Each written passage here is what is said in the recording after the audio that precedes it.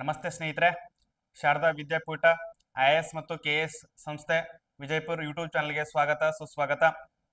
S ಸ್ನೇಹಿತರೆ, ಈಗಾಗಲೇ ನಿಮ್ಗೆ ಎಲ್ರಿಗೂ ತಿಳಿದಿರೋ ಹಾಗೆ ನಮ್ಮ ಒಂದು ಸಂಸ್ಥೆಯಲ್ಲಿ ಹೊಸ ಬ್ಯಾಚ್ ಸ್ಟಾರ್ಟ್ ಆಗಿದೆ. ನಿಮಗೇನಾದರೂ ಇಂಟ್ರೆಸ್ಟೆಡ್ ಇದ್ರೆ ಶಾರದಾ ವಿದ್ಯಾಪೀಠ ಸಂಸ್ಥೆಗೆ ಸಂಪರ್ಕಿಸಬಹುದು ತಮ್ಮ ಸೀಟನ್ನು ಖಚಿತಪಡಿಸ್ಕೊಳ್ಬಹುದು. ಎಸ್ ವಿದ್ಯಾರ್ಥಿಗಳೇ ಲಾಸ್ಟ್ ಕ್ಲಾಸ್ ಅಲ್ಲಿ ನಾವು ಸೆಂಟೆನ್ಸಸ್ ಬಗ್ಗೆ ಡಿಸ್ಕಸ್ ಮಾಡಿದ್ವಿ. ಇವತ್ತಿನ ಕ್ಲಾಸು ಹೊಸ ಟಾಪಿಕ್ ಯಾವುದು ಅಂತ ಕೇಳಿದ್ರೆ ಅದು ವೆರಿ ಇಂಪಾರ್ಟೆಂಟ್ ಅಂಡ್ ಈಸಿ ಇದೆ ನೋಡ್ರಿ. ಕ್ವಶನ್ ಟ್ಯಾಗ್ ಅಂತ ಹೇಳಿ. ಯಾವುದು? ಕ್ವಶನ್ ಟ್ಯಾಗ್ ಅಂತ ಅನ್ನೋದು. ನೀವೆಲ್ಲ ಕ್ವಶನ್ ಟ್ಯಾಗ್ ಅಂದ್ರೆ ಏನ್ ತಿಳ್ಕೊಂಡಿದ್ರಿ? ಕ್ವಶನ್ ಟ್ಯಾಗ್ ಅಂದ್ರೆ ಒಂದು ವಾಕ್ಯದ ನಂತರ, ಅಂದ್ರೆ ಒಂದು ವಾಕ್ಯ ಆದ ನಂತರ ಕೊನೆಗೇನು ಬರ್ತೀವಲ್ಲ ಆಡ್ ಮಾಡ್ತೀವಲ್ಲ ಸೊ ಅದನ್ನ ನಾವು ಕ್ವಶನ್ ಟ್ಯಾಗ್ ಅಂತ ಹೇಳಿ ಕರಿತೀವಿ. ಸಿಂಪಲ್ ಆಗಿ ಇದನ್ನ ನಾವು ಹಲವಾರು ರೂಲ್ಸ್ ಗಳಿರ್ತವೆ. ಒಂದು ಕಾನ್ಸೆಪ್ಟ್ ಇದೆ ಅಂತಂದ್ರೆ ಸುಮಾರು ಒಂದು ಹತ್ತರಿಂದ ಹದಿನೈದು ರೂಲ್ಸ್ ಇರ್ತವೆ. ಫಾರ್ ಎಕ್ಸಾಂಪಲ್ ನಿಮಗೆ ಆರ್ಟಿಕಲ್ಸ್ ಅನ್ನೋ ಟಾಪಿಕ್ ಹೇಳಿದೆ ನಿಮಗೆ. ಆರ್ಟಿಕಲ್ಸ್ ರೂಲ್ಸ್ ಸುಮಾರು ಹತ್ತರಿಂದ ಹದಿನೈದು ರೂಲ್ಸ್ ಗಳನ್ನ ಹೇಳಿದೆ ಅಲ್ಲಿ. ಹೌದಾ? ಆರ್ಟಿಕಲ್ಸ್ ನೆಕ್ಸ್ಟ್ ಸೆಂಟೆನ್ಸ್ ನೋಡ್ರಿ, ಒಂದ್ ಸೆಂಟೆನ್ಸ್ ಅನ್ನ ಕ್ರಿಯೇಟ್ ಆಗ್ಬೇಕಿದ್ರೆ ಸೊ ಏನೆಲ್ಲ ಹೆಲ್ಪಿಂಗ್ ವರ್ಬ್ಸ್ ಅಂಡ್ ಮತ್ತೆ ಅದರಲ್ಲಿ ಯಾವೆಲ್ಲ ಸೆಂಟೆನ್ಸ್ ಅನ್ನ ಸೇರಿದಾಗ ಮಾತ್ರ ಅದು ಒಂದು ಸೆಂಟೆನ್ಸ್ ಆಗಿ ಕ್ರಿಯೇಟ್ ಆಗುತ್ತೆ ಅಂತ ಅನ್ನೋದು ನೀಟಾಗಿ ಕ್ಲಿಯರ್ ಆಗಿ ಕಳೆದ ಎರಡು ಕ್ಲಾಸ್ ಅಲ್ಲಿ ನೀಟಾಗಿ ಅರ್ಥ ಮಾಡಿದ್ವಿ, ಅರ್ಥ ಮಾಡ್ಕೊಂಡಿವಿ ಹೌದಾ? ಇದು ಇಂಗ್ಲಿಷ್ನ ಗ್ರಾಮರ್ನ ಮೂರನೇ ಕ್ಲಾಸ್ ಇದು. ನೋಡ್ರಿ, ಒಂದೇ ಕಡೆ ಪ್ಲೇ ಲಿಸ್ಟ್ ಅಲ್ಲಿ ಸಿಗುತ್ತೆ. ಸೊ ನೀವೇನ್ ಮಾಡ್ರಿ? Sharada Vidyapeetha English grammar class ಅಂತ ಹೊಡೆದ್ರೆ ನೀವು ಒಂದೇ ಕಡೆ ಪ್ಲೇ ಲಿಸ್ಟ್ ಅಲ್ಲಿ ಪ್ರೊಫೈಲ್ ಅಲ್ಲಿ ಕಂಪೈಲ್ ಆಗಿ ಕೂಡಿರುತ್ತೆ. ಸೊ ನೀವು ಕ್ಲಾಸಸ್ ಅನ್ನ ಪರ್ಟಿಕ್ಯುಲರ್ ಆಗಿ ನೋಡ್ಕೊಂತ ಹೋಗ್ಬೋದು. ಸರಿ, ಹಾಗಾದ್ರೆ ಇವತ್ತು ಕ್ವಶನ್ ಟ್ಯಾಗ್ ಬಗ್ಗೆ ಡಿಸ್ಕಸ್ ಮಾಡುವಂತ ಸಂದರ್ಭದಲ್ಲಿ ಸೊ ನಾವು ಇವತ್ತು ಇಂಪಾರ್ಟೆಂಟ್ ಆಗಿರ್ತಕ್ಕಂಥ ಟಾಪಿಕ್ ಆಲ್ರೆಡಿ ಹೇಳಿದ್ದೀನಿ ನಾನು. ಯಾಕಂದ್ರೆ ಸುಮಾರು ಒಂದರಿಂದ ಎರಡು ಕ್ವಶನ್ಸ್ ಇದ್ರ ಮೇಲೆ ಆಗೇ ಆಗುತ್ತೆ. ಸೊ ಕಳೆದ ಬಾರಿ B M T C exams ಅಲ್ಲಿ ಇದ್ರ ಮೇಲೆ ಸೊ ಮೂರ್ ಕ್ವಶನ್ಸ್ ಅನ್ನ ಕೇಳಿದ್ರು. ಮೂರ್ ಕ್ವಶನ್ಸ್ ಬಟ್ ಇದನ್ನ ಎರಡು ಕ್ಲಾಸ್ ಆಗಿ ನಾವು ಕ್ಲಾಸ್ ತಗೋಣ ಒಂದೇ ಕ್ಲಾಸ್ ಅಲ್ಲಿ ಬೇಡ, ಯಾಕಂದ್ರೆ ಇಂಪಾರ್ಟೆಂಟ್ ಟಾಪಿಕ್ ಇದೆ ಹಾಗಾಗಿ ಎರಡು ಕ್ಲಾಸ್ ಮೂಲಕ ಕಂಪ್ಲೀಟ್ ಆಗಿ ಇದನ್ನ ಅರ್ಥ ಮಾಡ್ಕೊಳ್ಳುವಂತ ಪ್ರಯತ್ನ ಮಾಡೋಣ. ಸರಿ, ಇಲ್ಲಿದೆ ಒಂದು ಲೈನ್ ಕಾಣ್ತಾ ಇದೆ ನೋಡ್ರಿ. ಏನಿದೆ ಲೈನು ದೊಡ್ಡ ದೊಡ್ಡ ಕನಸುಗಳನ್ನ ಕಾಣ್ರಿ. ಆದ್ರೆ ಆ ಕನಸುಗಳನ್ನ ನನಸಾಗಿಸ್ಲಿಕ್ಕ ನೀವೇನ್ ಮಾಡ್ಬೇಕ್ರಿ? ಪ್ರಾಮಾಣಿಕವಾಗಿರ್ತಕ್ಕಂಥ ಪ್ರಯತ್ನ ಮಾಡಿದ್ರೆ ಮಾತ್ರ ಏನಾಗುತ್ತೆ ಅಂತ ಕೇಳಿದ್ರೆ ಆ ಕನಸನ್ನ ನೀವು ನನಸಾಗಿ ಮಾಡ್ಕೋಬಹುದು ಈ ಮಾತನ್ನ ನಾನು ನಿಮಗೆ ಯಾಕೆ ಹೇಳ್ತಾ ಇದ್ದೀನಿ ಅಂತ ಕೇಳಿದ್ರೆ ಇವತ್ತಿನ ಕಾಂಪಿಟೇಟಿವ್ ಎಕ್ಸಾಮ್ಸ್ ಗಳನ್ನ ನಾವು ಪಾಸ್ ಮಾಡ್ಬೇಕಂತಂದ್ರೆ ಹಾನೆಸ್ಟ್ ಆಗಿರ್ತಕ್ಕಂಥ ಅಂದ್ರೆ ಪ್ರಾಮಾಣಿಕ ಪ್ರಯತ್ನ ಇದ್ದಾಗ ಮಾತ್ರ ನಾವು ಸಕ್ಸಸ್ ಕಾಣ್ಲಿಕ್ಕೆ ಸಾಧ್ಯ. ಜನರಿಗೆ ತೋರಿಕೆ ಓದು ಬೇಡ. ನಮಗೆ ಏನನ್ಸುತ್ತೋ ನಮ್ಮ, ಅಂದ್ರೆ ನಾ, ನಮ್ಮನ್ನ ಜನ ಏನಂತ ತಿಳ್ಕೊಳ್ಳಕ್ಕ ನಾವ್ ಎಷ್ಟೇ ದಡ್ಡ ನಾವ್ ಎಷ್ಟು ಶಾಣೆ ಇದೀವಿ ನಾವೆಷ್ಟು ಹುಷಾರಿದೀವಿ ಮತ್ತೆ ಸೊ ನಮ್ಮಲ್ಲಿ ಎಂತ ಶಕ್ತಿ ಇದೆ ಅಂತ ಅನ್ನೋದು ನಮಗ್ ಮಾತ್ರ ಗೊತ್ತಿರುತ್ತೆ. ಸೊ ಜನರ ಏನೇ ಅಂತ ಅಂದ್ಕೊಳ್ಳಿ ಅದ್ರ ಬಗ್ಗೆ ತಲೆ ಕೆಡಿಸ್ಕೋಬಾರ್ದು ಓಕೆ ಸೊ ಹಾಗಾಗಿ ಸೊ ಜನರ ತೋರಿಕೆಗೆ ಓದ್ಬೇಡ್ರಿ. ಸೊ ನಮ್ಮ ಪ್ರಾಮಾಣಿಕ ಪ್ರಯತ್ನ ಇತ್ತು ಅಂತಂತಂದ್ರೆ ಸಕ್ಸಸ್ ಅನ್ನೋದು ಕಟ್ಟಿಟ್ಟ ಬುತ್ತಿ ಅನ್ನತಕ್ಕಂಥ ಮಾತನ್ನ ಹೇಳ್ತಾ ಇವತ್ತಿನ ಕ್ಲಾಸ್ ಅನ್ನ ಸ್ಟಾರ್ಟ್ ಮಾಡೋಣ, ಸ್ನೇಹಿತರೆ. ಎಸ್ ಇಲ್ಲಿ ನೋಡಿ. ಕ್ವಶನ್ ಟ್ಯಾಗ್ ಕ್ವಶನ್ ಟ್ಯಾಗ್ ಅಂದ್ರೆ ನಾನು ನಿಮಗೆ ಆಲ್ರೆಡಿ ಹೇಳಿದ್ದೀನಿ ಒಂದು ಯಾವುದೇ ಒಂದು ವಾಕ್ಯ ಇದೆ ಅಂತ ತಿಳ್ಕೊಳ್ರಿ. ಯಾವುದೇ ಒಂದು ವಾಕ್ಯವನ್ನ ಟ್ಯಾಗ್ ಅನ್ನ ಸೇರಿಸುವುದ್ರ ಮೂಲಕ ಓಕೆ ಟ್ಯಾಗ್ ಅನ್ನ ಸೇರಿಸುವುದ್ರ ಮೂಲಕ ನಾವು ಕ್ವಶನ್ ಟ್ಯಾಗ್ ಆಗಿ ಬದಲಾಯಿಸ, ಬದಲಾಯಿಸಬಹುದು. ಆ ಕ್ವಶನ್ ಟ್ಯಾಗ್ ಎಲ್ಲಿ ನಾವು ಆಡ್ ಮಾಡ್ತೀವಿ ಅಂತ ಕೇಳಿದ್ರೆ ಆ ವಾಕ್ಯದ ಕೊನೆಯಲ್ಲಿ ನಾವು ಮಾತನಾಡುವಂತಹ ಸಂದರ್ಭದಲ್ಲಿ ಕೂಡ ನಾವು ಟ್ಯಾಗ್ ಅನ್ನ ಬಳಸ್ತೀವಿ. ಹೌದಲ್ಲ? ಫಾರ್ ಎಕ್ಸಾಂಪಲ್ ಆ ಸೆಂಟೆನ್ಸ್ ಪಾಸಿಟಿವ್ ಅಲ್ಲಿ ಇದೆ ಅಂತ ತಿಳ್ಕೊಳ್ರಿ. ಆ ಕ್ವಶನ್ ಟ್ಯಾಗ್ ಯಾವ್ದಾಗಿರ್ಬೇಕು? ಯಾವ ರೂಪದಲ್ಲಿ ಇರಬೇಕು? ನೆಗೆಟಿವ್ ರೂಪದಲ್ಲಿ ಇರಬೇಕು. For example he is running quickly he is running quickly ಇದು ಯಾವ ಸೆಂಟೆನ್ಸ್ ಅಲ್ಲಿ ಇದೆ ಅಂತ ಕೇಳಿದ್ರೆ ಅವರು ರೂಲ್ಸ್ ಅದೇ ಹೇಳ್ತಿದ್ದಾರೆ. ಅವ್ರ ರೂಲ್ಸ್ ಏನ್ ಹೇಳ್ತಿದ್ದಾರೆ ಅಂತಂದ್ರೆ ಸೊ ಆ ಸೆಂಟೆನ್ಸ್ ಪಾಸಿಟಿವ್ ಆಗಿದ್ರೆ ನಾವು ಯಾವ ಒಂದು ಟ್ಯಾಗ್ ಅನ್ನ ಆಡ್ ಮಾಡಬೇಕು ಮೆನ್ಷನ್ ಮಾಡಬೇಕು ಅಂತ ಕೇಳಿದ್ರೆ ನೆಗೆಟಿವ್ ಟ್ಯಾಗ್ ಅನ್ನ ಆಡ್ ಮಾಡ್ಬೇಕಾಗತ್ತೆ. For example he is running quickly ಅಂತ ಇದೆ. ಹಿ ಈಸ್ ರನ್ನಿಂಗ್ ಕ್ವಿಕ್ಲಿ ಇದು ಪಾಸಿಟಿವ್ ಸೆಂಟೆನ್ಸ್ ಅಲ್ಲಿ ಇದೆ ಸೊ ನೋಡ್ರಿ ಪಾಸಿಟಿವ್ ಸೆಂಟೆನ್ಸ್ ಅಲ್ಲಿ ಇದ್ರೆ ನಾವ್ ಏನ್ ಮಾಡ್ಬೇಕು ನೆಗೆಟಿವ್ ಕ್ವಶನ್ ಟ್ಯಾಗ್ ಅನ್ನ ಆಡ್ ಮಾಡ್ಬೇಕು. ನೆಗೆಟಿವ್ ಕ್ವಶನ್ ಟ್ಯಾಗ್ ಏನಾಗತ್ರಿ? ಏನಾಗುತ್ತೆ? ಇಸಂಟ್ ಹಿ ಆಗುತ್ತೆ. ಸರ್ ಇಸಂಟ್ ಹಿ ಯಾಕೆ ಬಂತು ಅಂತ ಅನ್ನೋದ್ರ ಬಗ್ಗೆ ನಾನು ಕ್ಲಿಯರ್ ಮಾಡ್ತೀನಿ ನೋಡ್ರಿ. ಅದಕ್ಕಿಂತ ಮುಂಚೆ ಕೆಲವೊಂದು ಎಕ್ಸಾಂಪಲ್ಸ್ ಹೇಳ್ತೀನಿ ನಾನು. ಕ್ವಶನ್ ಟ್ಯಾಗ್ ಅಂದ್ರೆ ಯಾವ್ಯಾವೆಲ್ಲ ಬರ್ತಾವ ಅನ್ನೋದ್ರ ಬಗ್ಗೆ ಸುಮ್ ಒಂದೆರಡು ಕ್ವಶನ್ ಟ್ಯಾಗ್ ಅನ್ನ ನಾನು ನಿಮಗೆ ಹೇಳ್ತೀನಿ. ನೆಕ್ಸ್ಟ್ ಲಾಸ್ಟ್ ಸ್ಲೈಡ್ ಅಲ್ಲಿ ನಾನು ನಿಮಗೆ ಏನ್ ಮಾಡಿರ್ತೀನಿ, ಎಲ್ಲಾ ಕ್ವಶನ್ಸ್ ಟ್ಯಾಗ್ ಅನ್ನ ಯಾವ ರೀತಿ ಚೇಂಜಸ್ ಆಗುತ್ತೆ ಅಂತ ಅನ್ನೋದ್ರ ಬಗ್ಗೆ ಕ್ಲಿಯರ್ ಆಗಿ ನಿಮಗೆ ತಿಳಿಸ್ಕೊಡ್ತೀನಿ ಸ್ನೇಹಿತರೆ. ಓಕೆ ನೋಡ್ರಿ. Isn't it doesn't it didn't they etcetera ಬಹಳಷ್ಟು ಬರ್ತವೆ ಈ ತರ ಕ್ವಶನ್ ಟ್ಯಾಗ್ಗಳು ಸೊ ಮುಂದೆ ಕಲಿತಾ ಹೋಗೋಣ. ಓಕೆ ಇಲ್ಲಿ ಏನ್ ಹೇಳ್ತಿದ್ದಾರೆ ಅಂತಂದ್ರೆ ಅವರು, ಯಾವುದೇ ವಿಷಯವನ್ನ ಖಚಿತಪಡಿಸಿಕೊಳ್ಳುವ ಸಲುವಾಗಿ, ಒಂದು ಮ್ಯಾಟರ್ ಇರ್ತಂತ ತಿಳ್ಕೊಡ್ರಿ ಅಥವಾ ಒಂದು ವಾಕ್ಯದ ಅಂತ ತಿಳ್ಕೊಡ್ರಿ ಆ ವಾಕ್ಯವನ್ನ ನಾವು ಏನ್ ಮಾಡ್ಬೇಕು? ನಾವು ಡೆಫಿನೆಟ್ ಆಗಿ ತಿಳ್ಕೊಬೇಕು, ಖಚಿತವನ್ನ ಪಡಿಸ್ಕೋಬೇಕು. ಸೊ ಹಾಗೆ ನಿಖರತೆಯನ್ನ ತಿಳ್ಕೊಬೇಕು ಆ ವಾಕ್ಯದ್ದು. ಆ ವಾಕ್ಯವನ್ನ ನಿಖರತೆಯನ್ನ ತಿಳಿಸ್ಕೊಳ್ಳಿಕ್ಕೆ ನಾವು ಏನನ್ನ ಮೆನ್ಷನ್ ಅಥವಾ ಏನನ್ನ ಬಳಸ್ತೀವಿ ಅಂತ ಕೇಳಿದ್ರೆ ಕ್ವಶನ್ ಟ್ಯಾಗ್ ಅನ್ನ ಬಳಸ್ತೀವಿ. ಸೊ ಇದರ ಒಂದು ಮೀನಿಂಗ್ ಇದೆ ನೋಡ್ರಿ. ಕ್ವಶನ್ ಟ್ಯಾಗ್ ಅನ್ನ ನಾವು ಯಾವ್ದಕ್ ಬಳಸ್ತೀವಿ ಅಂತ ಕೇಳಿದ್ರೆ ಒಂದು ವಾಕ್ಯನ, ವಾಕ್ಯದ ಸ್ಪಷ್ಟತೆಯನ್ನ ತಿಳಿದುಕೊಳ್ಳಿಕ್ಕ ನಾವೇನ್ ಮಾಡಿರ್ತೀವಿ ಅಂತ ಕೇಳಿದ್ರೆ ಕ್ವಶನ್ ಟ್ಯಾಗ್ ಅನ್ನ ಬಳಕೆ ಮಾಡ್ತೀವಿ ಸ್ನೇಹಿತರೆ. ಕ್ವಶನ್ ಟ್ಯಾಗ್ ಅನ್ನ ಬಳಕೆ ಮಾಡ್ತೀವಿ. ಓಕೆ ಇದಿಷ್ಟು ನಿಮಗೆ ಕ್ಲಿಯರ್ ಆಗಿರ್ಲಿ. ಕ್ವಶನ್ ಟ್ಯಾಗ್ ಅಂದ್ರೆ ಏನು ಅಂತ ಇಷ್ಟು ಕ್ಲಿಯರ್ ಆಗಿರ್ಲಿ. ಬಟ್ ಪ್ರಶ್ನೆ ಇದರಲ್ಲಿ ಆಗಲ್ಲ. ಯಾವುದೇ ಕಾರಣಕ್ಕೂ ಈ ಸ್ಲೈಡ್ ಅಲ್ಲಿ ಏನ್ ಹೇಳಿದಿನಲ್ಲ, ಈ ಸ್ಲೈಡ್ ಅಲ್ಲಿ ಯಾವುದೇ ಪ್ರಶ್ನೆ ಬರಂಗಿಲ್ಲ, ಬಟ್ ಇದ್ರ ಬಗ್ಗೆ ಕಾನ್ಸೆಪ್ಟ್ ಕ್ಲಿಯರ್ ಆಗಿರ್ಬೇಕು. ಕಾನ್ಸೆಪ್ಟ್ ಗೊತ್ತಿತ್ತು ಅಂತಂದ್ರೆ ನಿಮಗ ಈ ಟಾಪಿಕ್ ಕ್ಲಿಯರ್ ಆಗ್ತದ, ಮತ್ತೆ ಯಾವುದೇ ಪ್ರಶ್ನೆ ಬಂದ್ರು ಕೂಡ ನೀವು ಎದುರಿಸುವಂತಹ ಒಂದು ಏನಾರ ಒಂದು ಸಾಮರ್ಥ್ಯ ನಿಮ್ಮ ಹತ್ರ ಬೆಳೆಯುತ್ತೆ ಓಕೆ ಸೊ ಇದ್ರ ಬಗ್ಗೆ ನಿಮ್ಗೆ ಗೊತ್ತಿರಲಿ. ನಾನು ನಿಮ್ಗೆ ಹೇಳಿದೆ, ಏನಂತ ಹೇಳಿದೆ? ಸರ್, ಇಲ್ಲಿ ಇಸಂಟ್ ಹಿ ಬಂದಿದೆ? ಯಾಕೆ ಸರ್ ಇಸಂಟ್ ಹಿ ಬಂತು ಅಂತ ಕೇಳಿದ್ರೆ, ನೋಡ್ರಿ ಸೆಂಟೆನ್ಸ್ ಏನಿದೆ ರೀ? ಹಿ ಈಸ್ ರನ್ನಿಂಗ್ ಕ್ವಿಕ್ಲಿ ಅಂತ ಹೇಳಿ. ಹಿ ಈಸ್ ರನ್ನಿಂಗ್ ಕ್ವಿಕ್ಲಿ ಇಲ್ಲಿ ಹೆಲ್ಪಿಂಗ್ ವರ್ಬ್ ಯಾವ್ದಿದೆ? ಹೆಲ್ಪಿಂಗ್ ವರ್ಬು ಈಸ್ ಅಂತ ಇದೆ ನೋಡ್ರಿ. ಹೆಲ್ಪಿಂಗ್ ವರ್ಬ್ ಏನಿದೆ? ಈಸ್ ಅನ್ನೋ ಹೆಲ್ಪಿಂಗ್ ವರ್ಬ್ ಅನ್ನ ಕೊಟ್ಟಿದ್ದಾರೆ ಅವರು. ಈ ಹೆಲ್ಪಿಂಗ್ ವರ್ಬ್ ಅನ್ನ ಬಳಸ್ಕೊಂಡು ಇದನ್ನ ನಾವು ನೆಗೆಟಿವ್ ಆಗಿ ಮಾಡಬೇಕು. ಸೆಂಟೆನ್ಸ್ ಪಾಸಿಟಿವ್ ಇದೆ. ಹಿ ಈಸ್ ರನ್ನಿಂಗ್ ಕ್ವಿಕ್ಲಿ ಅಂತ ಪಾಸಿಟಿವ್ ಆಗಿರ್ತಕ್ಕಂಥ ಸೆಂಟೆನ್ಸ್ ನಮ್ಗೆ ಕಾಣ್ತಾ ಇದೆ. ಸೊ ಹೆಲ್ಪಿಂಗ್ ವರ್ಬ್ ಅನ್ನ ಬಳಸ್ಕೊಂಡು ನಾವೇನ್ ಮಾಡ್ಬೇಕ್ರಿ? ಕ್ವಶನ್ ಟ್ಯಾಗ್ ಅನ್ನ ಮಾಡ್ಬೇಕು. ಸೊ ಹಾಗಾದ್ರೆ ಇಲ್ಲಿ ಈಸ್ ಈಸ್ ಇದೆ. ಇದನ್ನ ನೆಗೆಟಿವ್ ಮಾಡಿದ್ರೆ ಏನಾಗತ್ರಿ? ಇಸಂಟ್ ಹಿ ಅನ್ನೋದು ಸರಿಯಾದ ಉತ್ತರ ಆಗುತ್ತೆ. ಇಸಂಟ್ ಹಿ ಅನ್ನೋದು ಸರಿಯಾದ ಉತ್ತರ ಆಗುತ್ತೆ. ಸೊ ಈ ತರ ಇದೆ ನೋಡ್ರಿ ಕ್ವಶನ್ ಟ್ಯಾಗ್ ಆದ್ರೆ, ಎಲ್ಲಾ ಸಂದರ್ಭದಲ್ಲೂ ಕೂಡ ಒಂದೇ ತರ ಬರಂಗಿಲ್ಲ. ಫಾರ್ ಎಕ್ಸಾಂಪಲ್ ವಿಲ್ ಇಲ್ಲಿ ಏನಾಗತ್ರಿ ವಿಲ್ ಇದ್ದದ್ದು ವಿಲಂಟ್ ಹಿ ಆಗಲ್ಲ. ವಿಲಂಟ್ ಹಿ ಆಗಲ್ಲ. ಓಕೆ ವಿಲಂಟ್ ಹಿ ಆಗಲ್ಲ. ಕೆಲವೊಂದು ಚೇಂಜಸ್ ಬರುತ್ತೆ. ವಿಲ್ ಇದ್ದಿದ್ದು ಓಂಟ್ ಹಿ ಆಗತ್ತೆ. ವಿಲ್ ಇದ್ದಿದ್ದು ಓಂಟ್ ಹಿ ಆಗುತ್ತೆ.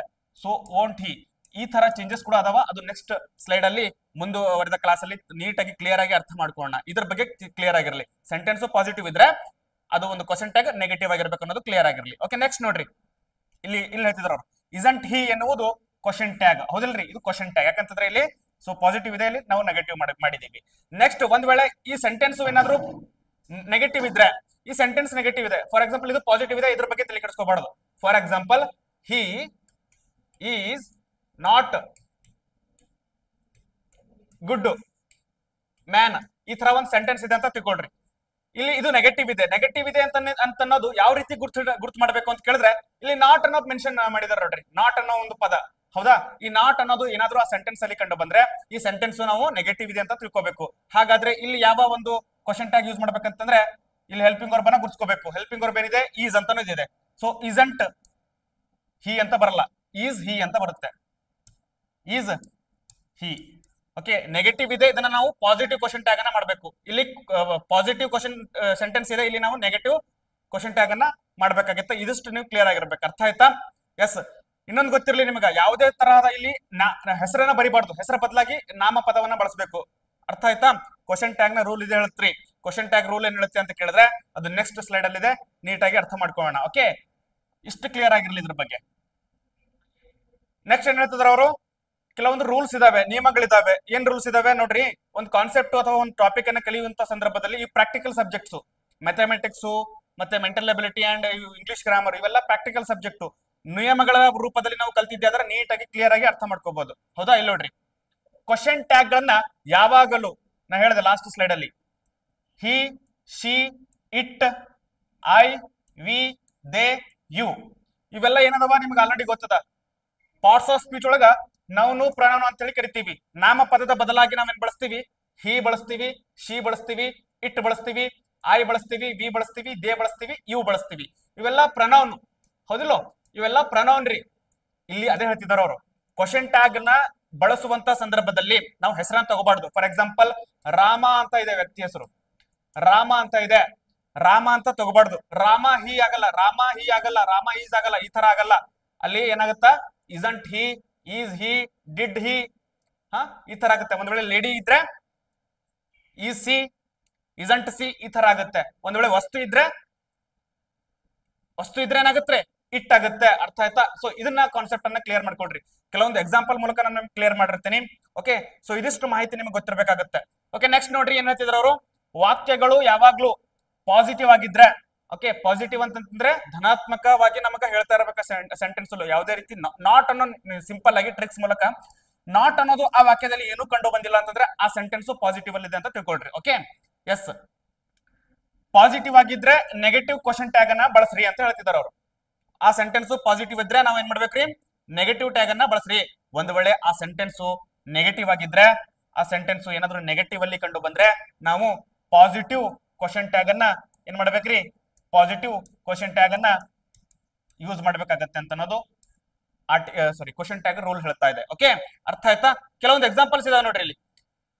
ಸಿ ಈಸ್ ಕ್ವಿಕ್ ಅಂತ ಇದೆ. ಸಿ ಈಸ್ ಕಿಕ್ ಅವಳು ಬಹಳ ಬೇಗನೆ ಅಂತ ಒಂದು ಸೆಂಟೆನ್ಸ್ ಇದೆ. ಇಲ್ಲಿ ಈಸ್ ಅನ್ನೋದು ಏನಿದೆ ಇದು ಹೆಲ್ಪಿಂಗ್ ವರ್ಬ್ ಈಸ್ ಅನ್ನೋದು ಹೆಲ್ಪಿಂಗ್ ವರ್ಬ್ ಸೊ ಯಾವ ಒಂದು ಪಾಸಿಟಿವ್ ಅಲ್ಲಿ ಇದೆನೋ ಅಥವಾ ನೆಗೆಟಿವ್ ಅಲ್ಲಿ ಇದೆನೋ ಅಂತ ಗುರುಸ್ಕೋಬೇಕು ನೀವು. ಯಾವ ಇದರಲ್ಲಿದೆ ನಾಟ್ ಅನ್ನೋದು ಯಾವ ತರ ಕಾಣ್ತಾ ಇಲ್ಲ ನಮಗೆ. ಸೊ ಹಾಗಾಗಿ ಇದು ಪಾಸಿಟಿವ್ ಸೆಂಟೆನ್ಸ್ ಇಲ್ಲಿ ಯಾವ ಒಂದು ಕ್ವಶನ್ ಟ್ಯಾಗ್ ಆಡ್ ಮಾಡ್ಬೇಕಂತ ಕೇಳಿದ್ರೆ ಇಸಂಟ್ ಸಿ ಅಂತ ಅನ್ನೋದು ಒಂದು ಸರಿಯಾದ ಕ್ವಶನ್ ಟ್ಯಾಗ್ ಇಸಂಟ್ ಸಿ ಯಾಕಂತಂದ್ರೆ ಇಲ್ಲಿ ಒಂದು ಪಾಸಿಟಿವ್ ಸೆಂಟೆನ್ಸ್ ಇರೋದ್ರಿಂದ ನಾವು ಕ್ವಶನ್ ಟ್ಯಾಗ್ ನೆಗೆಟಿವ್ ಮಾಡ್ಬೇಕಾಗತ್ತೆ. ಸೊ ಇದು ಕ್ಲಿಯರ್ ಆಗಿರ್ಬೇಕು ನಿಮಗೆ. ಅರ್ಥ ಆಯ್ತಾ? ಅಪೋಸಿಟ್ ಫುಲ್ಲಿ ಅಪೋಸಿಟ್ ಅರ್ಥ ಆಯ್ತಾ? ಪಾಸಿಟಿವ್ ಇದ್ರೆ ನೆಗೆಟಿವ್ ಇದ್ರ ಮೇಲೆ ಕ್ವಶನ್ ಟ್ಯಾಗ್ ನಾವು ನಿಂತಿರುತ್ತೀ ಇದ್ರ ಮೇಲೆನೆ ನಾವು ಯಾವ ಕ್ವಶನ್ ಟ್ಯಾಗ್ನ ಬಳಕೆ ಮಾಡ್ಬೇಕು ಅಂತ ಅನ್ನೋದು ನಿರ್ಧಾರ ಆಗುತ್ತೆ. ಸೆಂಟೆನ್ಸ್ ಅನ್ನ ನೀಟಾಗಿ ಗುರ್ಸ್ಕೊಳ್ರಿ ಹೆಲ್ಪಿಂಗ್ ವರ್ಬ್ ಅನ್ನ ಗುರ್ಸ್ಕೊಳ್ರಿ ಯಾವ ಹೆಲ್ಪಿಂಗ್ ವರ್ಬ್ ಇದೆ? ಅದನ್ನ ಗುರ್ಸ್ಕೊಂಡು ಪ್ರನೌನ್ ಅನ್ನ ಮೆನ್ಷನ್ ಮಾಡ್ರಿ ಲಾಸ್ಟಿಗೆ ಅರ್ಥ ಆಯ್ತಾ? ಎಸ್ ಸೊ ಇದಿಷ್ಟು ಆ, ಒಂದು ಎಕ್ಸಾಂಪಲ್ ಇನ್ನೊಂದು ಎಕ್ಸಾಂಪಲ್ ಕೊಟ್ಟಿರ್ತೇನೆ ನೋಡ್ರಿ ನಿಮ್ಗೆ. ದೇ ಆರ್ ಬ್ಯೂಸಿ ಅಂತ ಇದೆ. They are busy they are busy ಇಲ್ಲಿ ಹೆಲ್ಪಿಂಗ್ ವರ್ಬು ಆರ್ ಅಂತ ಇದೆ. ಹೆಲ್ಪಿಂಗ್ ವರ್ಬು ಆರ್ ಅಂತ ಇದೆ. ಸೊ ಹಾಗಾಗಿ ಅರಂಟ್ ದೇ ಅಂತ ಹೇಳಿ. ಅರಂಟ್ ದೆ ಅರಂಟ್ ಇದನ್ನ ನೆಗೆಟಿವ್ ಮಾಡ್ಬೇಕು. ಪಾಸಿಟಿವ್ ಅಲ್ಲಿ ಇದೆ. ಇದನ್ನ ಅರಂಟ್ ಅಂತ ನೆಗೆಟಿವ್ ಮಾಡ್ಬೇಕು. ಸೊ ಹಿಂದೆ ನಾಮಪದ ಸರ್ವನಾಮ ಪದ ಕೊಟ್ಟಿದ್ದಾರೆ, ದೇ ಅಂತ ಹೇಳಿ. ಸೊ ದೇ ಅಂತ ಅನ್ನೋದು ಲಾಸ್ಟಿಗೆ ಆಡ್ ಮಾಡಬೇಕು. ಸೊ ಇದು ಕ್ವಶನ್ ಟ್ಯಾಗ್ ಅಂತ ಹೇಳಿ. So clear ಆಗಿದೆನಾ?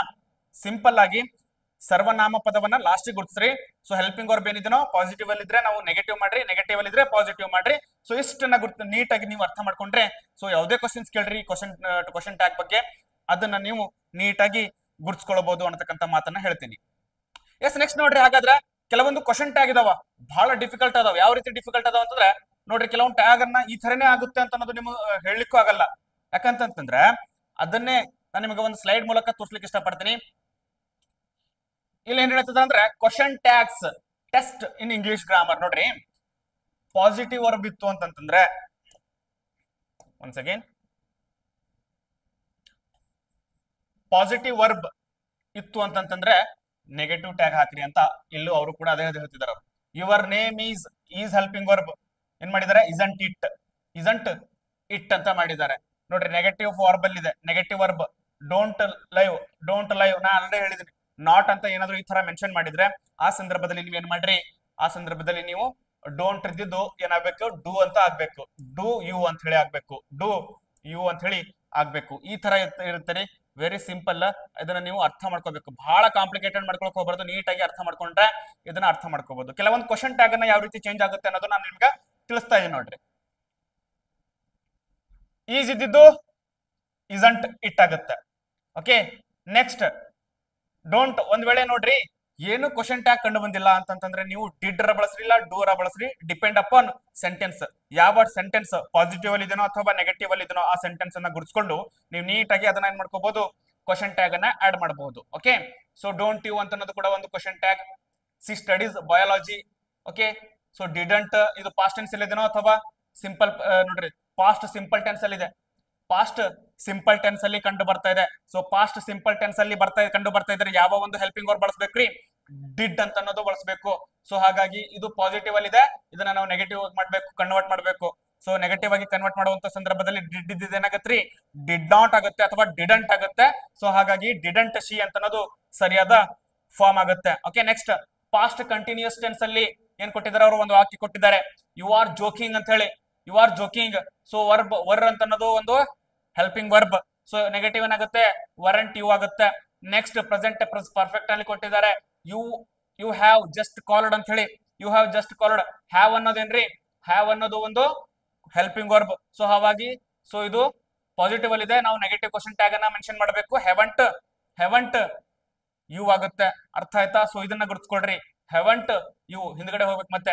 ಅರ್ಥ ಆಯ್ತಾ? ಸೊ ಈ ತರ ಇದೆ.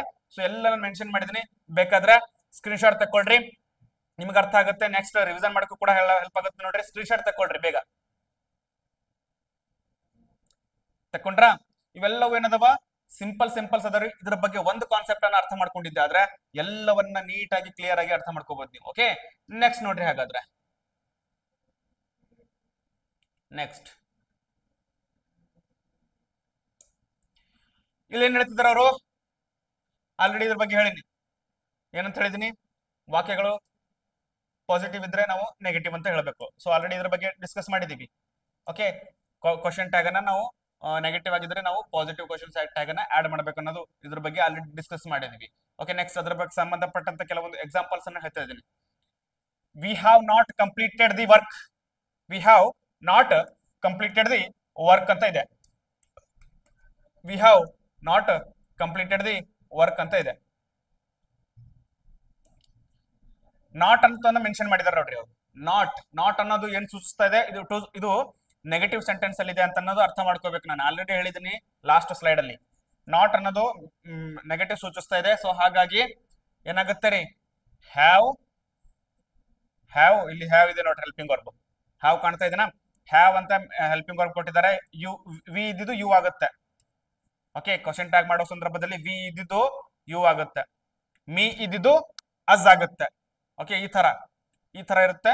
ಇದನ್ನ ಬಗ್ಗೆ ಒಂದೇ ಕ್ಲಾಸ್ ಅಲ್ಲಿ ಬೇಡ. ಇನ್ನೊಂದು ಕ್ಲಾಸ್ ಇದ್ರ ಬಗ್ಗೆ ಮಾಡ್ತೀನಿ ನಾನು ನೀಟಾಗಿ ಇನ್ನು ಕ್ಲಿಯರ್ ಆಗಿ. ಇದು ಕ್ಲಾಸ್ ಮತ್ತೆ ಅದು ಕ್ಲಾಸ್ ಎರಡು ಎರಡು ಕ್ಲಾಸ್ ನೋಡ್ಕೊಂಡ್ ಬಿಟ್ರೆ ಕ್ವಶನ್ ಟ್ಯಾಗ್ಗೆ ಸಂಬಂಧಪಟ್ಟಂತೆ ಯಾವುದೇ ಕ್ವಶನ್ ಕೇಳಿ ಇನ್ ಡೆಪ್ತ್ ಆಗಿ ಕ್ಲಾಸ್ ಅನ್ನ ಇರುತ್ತೆ. ಸೊ ಇದನ್ನ ನೋಡ್ಕೋಬಹುದು ನೀವು. ಓಕೆ ಯಾಕಂತಂದ್ರೆ ಒಂದು ಕ್ಲಾಸ್ ಅನ್ನ ನಾವು ಮಾಡ್ತಾ ಇದೀವಿ ಅಂತಂದ್ರೆ ಇದ್ರ ಹಿಂದ್ಗಡೆ ಸಾವಿರಾರು ವಿದ್ಯಾರ್ಥಿಗಳಿಗೆ ಯೂಸ್ ಆಗ್ಲಿ ಅನ್ನೋ ಒಂದು ಕಾನ್ಸೆಪ್ಟ್ ಇಟ್ಕೊಂಡು ಮಾಡಿರ್ತೀವಿ. ಎಲ್ಲಾ ವಿದ್ಯಾರ್ಥಿಗಳ ಈ ಕ್ಲಾಸ್ನ ಲಿಂಕ್ ಅನ್ನ ಶೇರ್ ಮಾಡಿದ್ದೆ ಆದ್ರೆ ಈ ಕ್ಲಾಸ್ನ ಕ್ಲಾಸ್ ಮಾಡಿದಕ್ಕೂ ಕೂಡ ಬಹಳ ಸದ್ಬಳಕೆ ಆಗುತ್ತೆ. ಅದಕ್ಕೋಸ್ಕರ ಹೆಚ್ಚ್- ಹೆಚ್ಚೆಚ್ಚು ವಿದ್ಯಾರ್ಥಿಗಳಿಗೆ ಈ ಕ್ಲಾಸ್ನ ಲಿಂಕ್ ಅನ್ನ ಶೇರ್ ಮಾಡ್ರಿ ಓಕೆ ಎಸ್ ವಾಕ್ಯದಲ್ಲಿ ಹೆಲ್ಪಿಂಗ್ ವರ್ಬ್ ಸೊ ಗೊತ್ತೈತಲ್ಲ ಈ ಕಾನ್ಸೆಪ್ಟ್ ನೆಗೆಟಿವ್ ಇದ್ರೆ ನಾವು ಪಾಸಿಟಿವ್ ಅಂತ ಅನ್ನೋದು ನೀವು ಮೆನ್ಷನ್ ಮಾಡ್ರಿ ಅಂತ ಹೇಳಿ. ಓಕೆ ನೆಕ್ಸ್ಟ್ ನೋಡ್ರಿ. ವಾಕ್ಯದಲ್ಲಿ ಯಾವ ಹೆಲ್ಪಿಂಗ್ ವರ್ಬ್ ಇರುತ್ತದೆಯೋ ಅದೇ ಹೆಲ್ಪಿಂಗ್ ವರ್ಬ್ ಅನ್ನ ಬಳಸಿ ಕ್ವಶನ್ ಟ್ಯಾಗ್ ಅನ್ನ ಮೆನ್ಷನ್ ಮಾಡ್ರಿ ಅಂತ ಹೇಳ್ತಿದಾರ ಓಕೆ ಇದು ಹೆಲ್ಪಿಂಗ್ ವರ್ಬ್ ಇವೆಲ್ಲ ಹೆಲ್ಪಿಂಗ್ ವರ್ಬ್ ಅಲ್ರಿ? ಆರ್ ಅನ್ನೋದು ಹೆಲ್ಪಿಂಗ್ ವರ್ಬು ಹ್ಯಾವ್ ಅನ್ನೋದು ಕೂಡ ಒಂದು ಹೆಲ್ಪಿಂಗ್ ವರ್ಬು ಹ್ಯಾಡ್ ಅನ್ನೋದು ಕೂಡ ಒಂದು ಹೆಲ್ಪಿಂಗ್ ವರ್ಬು ವಾಸ್ ಅನ್ನೋದು ಕೂಡ ಒಂದು ಹೆಲ್ಪಿಂಗ್ ವರ್ಬು ವರ್ ಅನ್ನೋದು ಕೂಡ ಒಂದು ಹೆಲ್ಪಿಂಗ್ ವರ್ಬು ಹ್ಯಾಸ್ ಅನ್ನೋದು ಕೂಡ ಒಂದು ಹೆಲ್ಪಿಂಗ್ ವರ್ಬು ಡಸ್ ಅನ್ನೋದು ಕೂಡ ಒಂದು ಹೆಲ್ಪಿಂಗ್ ವರ್ಬು ಆಲ್ರೆಡಿ ನಾನು ಕ್ಲಾಸ್ ಲಾಸ್ಟ್ ಕ್ಲಾಸ್ ಸ್ಲೈಡ್ ಅಲ್ಲಿ ಡಿಸ್ಕಸ್ ಮಾಡಿದ್ದೀನಿ. ಬೇಕಾದ್ರೆ ನೋಡ್ಕೋಬಹುದು ಇಲ್ಲ, ಇವೆಲ್ಲ ಹೆಲ್ಪಿಂಗ್ ವರ್ಬ್ ಹೌದಿಲ್ರಿ? ಇಲ್ಲ ಇಲ್ಲ, ಅದ ನೋಡ್ರಿ. Were okay were were had will can should would had haven't were did don't ಇವೆಲ್ಲ ಏನದವ ಅಂತ ಕೇಳಿದ್ರ? ಸಿ ಈಸ್ ಈಸ್ ಈ ತರ ಬರಿಬೇಕಿಲ್ಲಿ. ಈಸ್ ಇವೆಲ್ಲ ಏನದವ್ರಿ? ಹೆಲ್ಪಿಂಗ್ ವರ್ಕ್ ಅದಾವ. ಸೊ ಹಾಗಾಗಿ ಈ ಹೆಲ್ಪಿಂಗ್ ವರ್ಬ್ಗಳನ್ನ ನೀಟಾಗಿ ಗುರುತಿಸ್ಕೊಂಡು ಮತ್ತೆ ಸೆಂಟೆನ್ಸ್ ಯಾವ ಒಂದು ಪಾಸಿಟಿವ್ ಅಲ್ಲಿ ಇದನೋ ಅಥವಾ ನೆಗೆಟಿವ್ ಅಲ್ಲಿ ಇದನೋ ಈ ತರ ಗುರುತಿಸ್ಕೊಂಡು ನೀಟಾಗಿ ಕ್ಲಿಯರ್ ಆಗಿ ನಾವು ಅಕ್ಯುರೇಟ್ ಆಗಿ ಆನ್ಸರ್ ಮಾಡ್ಬೋದ್ರಿ.